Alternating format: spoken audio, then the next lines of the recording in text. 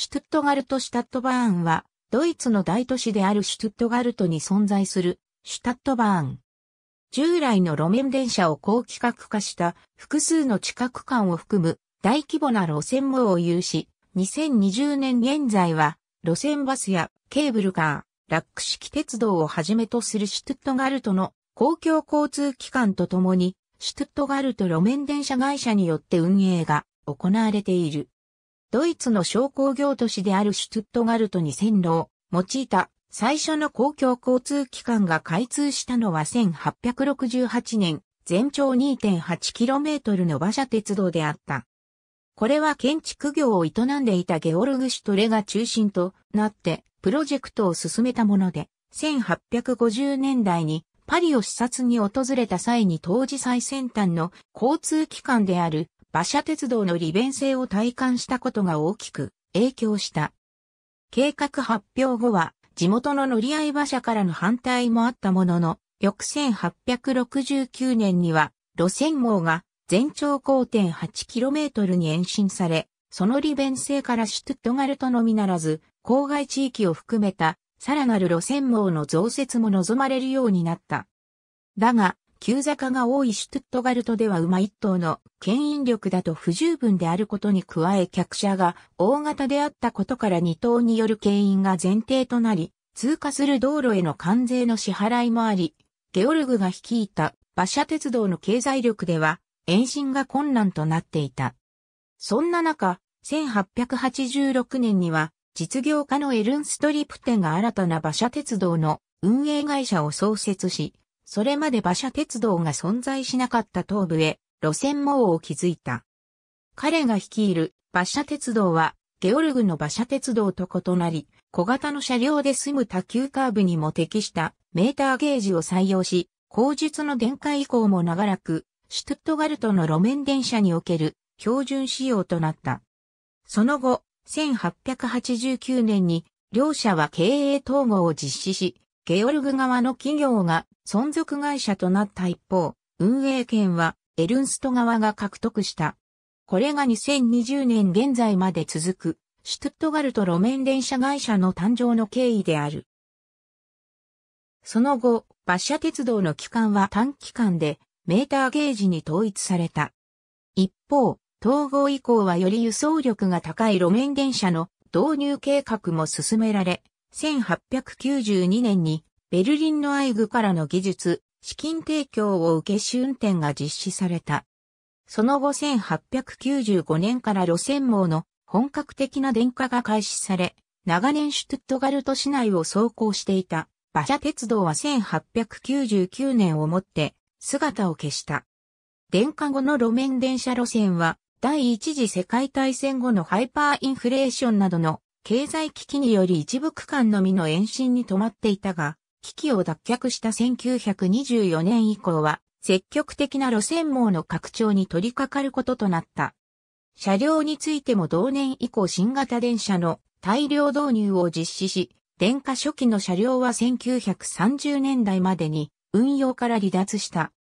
さらにこれらの車両にはそれまでの薄い水色を基調とした塗装に変わって上半分を白、下半分を黄色、草加に黒色の帯という新塗装が採用され、以降2020年現在に至るまで、シュタットバーンを含め、シュトゥットガルト路面電車会社が運営する交通機関のシンボルカラーとなっている。また1939年には初の構成車の導入も実施された。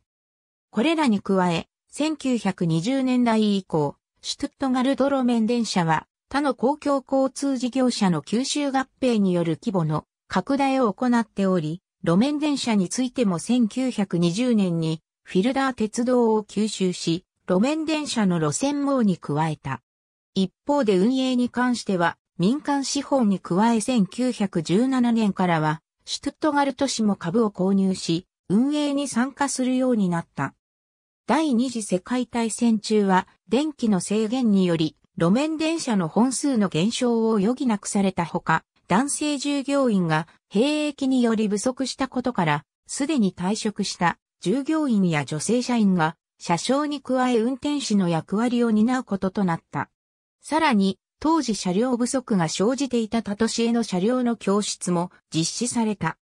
そして1944年から1945年にかけての大規模な空襲によりシュトットガルトは瓦礫の山と化し、市電も1945年4月22日に運行を完全に停止するにまで至り、そのまま終戦を迎えた。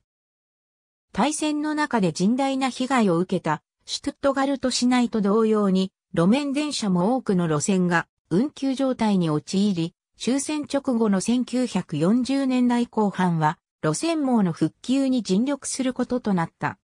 また急増した利用客に対応するため、破壊された車両の修理や戦後の配給車両の導入を実施したほか、1947年からは市内の瓦礫を輸送するため、電気機関車が牽引する貨物列車が設定され、路面電車やシュトゥットガルトの復旧がほぼ完了した1949年まで続けられた。その後、1950年代は1920から30年代以来となる路線網の大規模な拡張が実施され、他の交通機関を含め1955年の年間利用客数は1億9300万人に達した。車両についても長年増備が続いた二軸車に代わり、1959年からは究極線の走行に適した2車体連接車の GT 4型の大量導入が始まり、以降長期にわたって、シュトゥットガルトを代表する車両として活躍することとなった。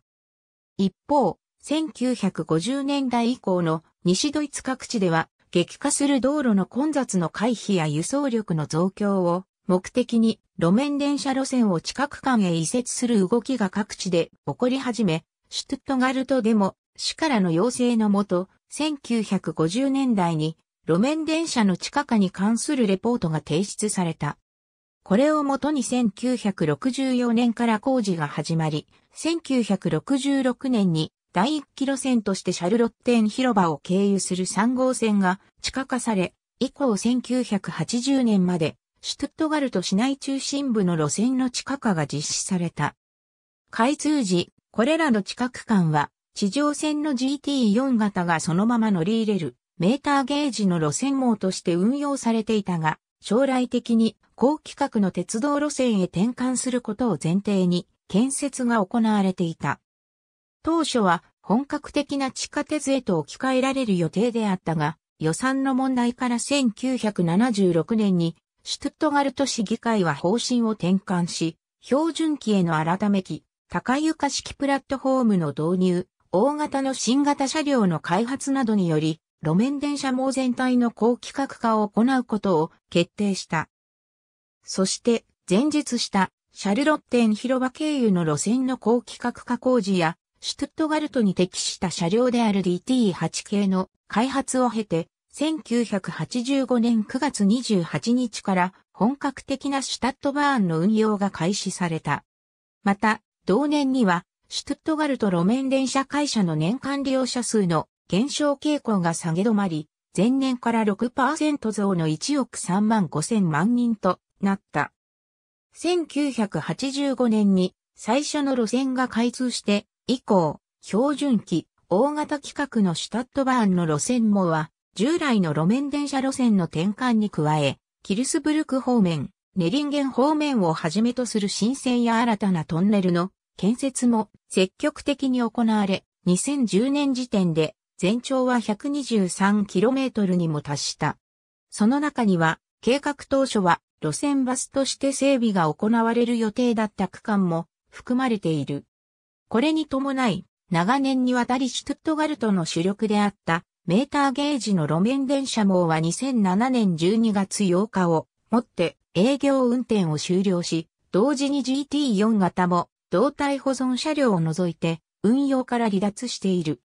その後もシュタットバーン網の拡張は続いており、口述の通り2020年代以降も、さらなる延伸や車両の増備、車庫の増設を行う計画がある一方、シュトゥットガルト路面電車は、路線バス、高速バスなど他の交通機関との連携も重視しており、今後の持続可能な発展に向けた交通網の整備を進めている。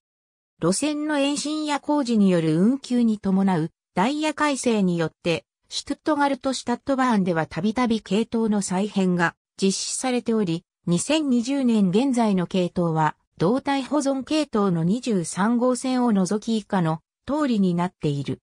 系統番号の頭には、大半の路線が道路から独立した専用軌道であることを示す U が付けられている。シュタットバーンを含め、シュトゥットガルト路面電車が運営する公共交通機関の運賃は、同社も参加している、シュトゥットガルト運輸、運賃連合が定めるゾーン制に基づいており、シュタットバーンは、基本的にゾーン1と呼ばれる、シュトゥットガルト中央駅を中心としたゾーンに路線網を有するが、ゲルリンゲン駅へ向かう U6 号線など一部はゾーン2へ路線を伸ばしている。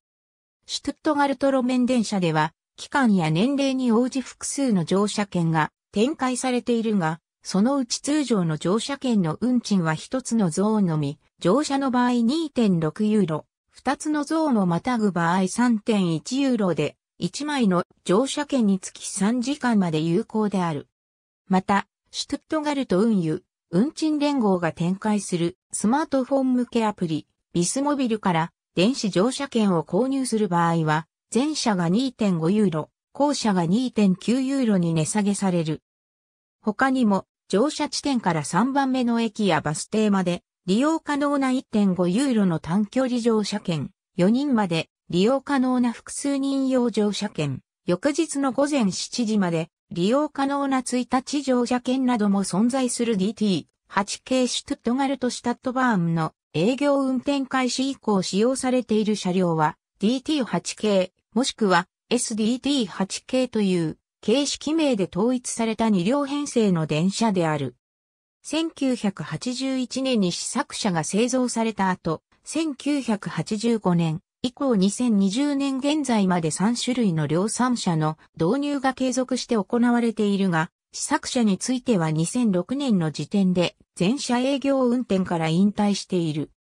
時代に応じて様々な技術が導入されているが、全形式ともインダストリアルデザイナーのハーバード・リンディンガーがデザインを手掛けており、シュトットガルトの公共交通を代表する色である黄色を基調とした塗装を含めイメージの統一が図られている。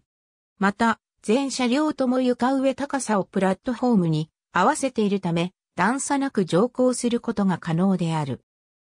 現役時代の GT4 型1959年の生産開始以降長年にわたって、シュトゥットガルトの路面電車の主力車両として使用されていたメーターゲージに対応した2車体連接車の GTE4 型は2007年12月をもって営業運転を退いたが、一部車両はシュトゥットガルト路面電車博物館で動態保存され、メーターゲージの線路が残された保存系統の23号線で使用されている。また、1980年代まで営業運転に使用されていた GT4 型以前の連接車や二軸車の一部も同じく動体保存運転が定期的に行われている。